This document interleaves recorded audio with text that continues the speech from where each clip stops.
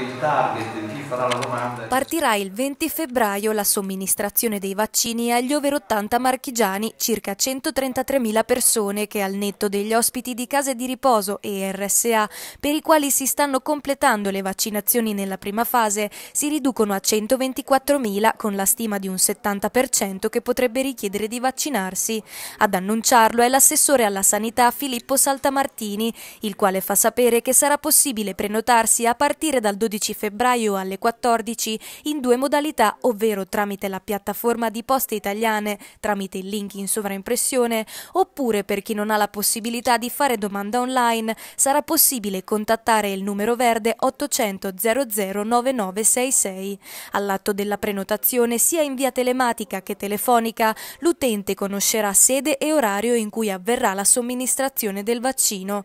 Il modello seguito sarà quello dello screening. I luoghi selezionati sono infatti i palazzetti dello sport e luoghi all'aperto, dove i cittadini potranno recarsi in tutta sicurezza per ricevere i vaccini Pfizer o Moderna. Nella provincia pesarese le location scelte sono la Vitrifrigo Arena di Pesaro, il Codma di Fano ed il Palacarneroli di Urbino. Noi contiamo in questo modo in 20 giorni di somministrare la prima dose del vaccino Pfizer e Moderna a 120.000 utenti insomma, che lo potranno richiedere. Noi abbiamo fatto un piano fino al 5 marzo per cui le abbiamo già immagazzinate queste dosi e se continuerà la, la, la consegna di questi vaccini saremo in grado naturalmente di proseguire e di completare il piano di vaccinazione in 20 giorni. Per le persone che non sono in grado di deambulare o per chi non può essere accompagnato, ha continuato Salta Martini, allestiremo nei prossimi giorni una piattaforma di prenotazione ed un numero di telefono specifici. In questo caso la vaccinazione sarà eseguita dall'ASUR mediante i medici di medicina generale o dalle altre strutture territoriali dell'ADI.